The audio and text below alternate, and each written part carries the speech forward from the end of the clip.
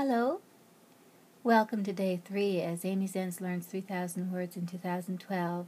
I'd like you to watch the little video on my blog spot, Amy Zents learns 3,000 German words in 2012.blogspot.com, regarding a little about pronunciation. The internet is our teacher, so are our ears. So uh, check out that video and learn the proper pronunciation.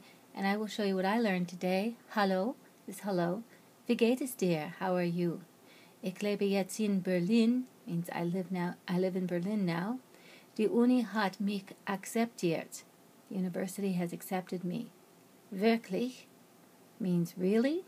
Großes Lob means big compliment. Danke is thank you. Wir gehen am Sonntag segeln means we're going sailing on Sunday. Willst du mitkommen? Would you like to come? Tut mir leid, ich habe leider keine Zeit. I'm sorry, I don't have the time. And then you can also uh, watch 99 Luftballons, a link to that on YouTube, and uh, also learn your ABCs when you go to German language. If you scroll down, you'll see the ABC uh, MP3. Till tomorrow, auf Wiedersehen.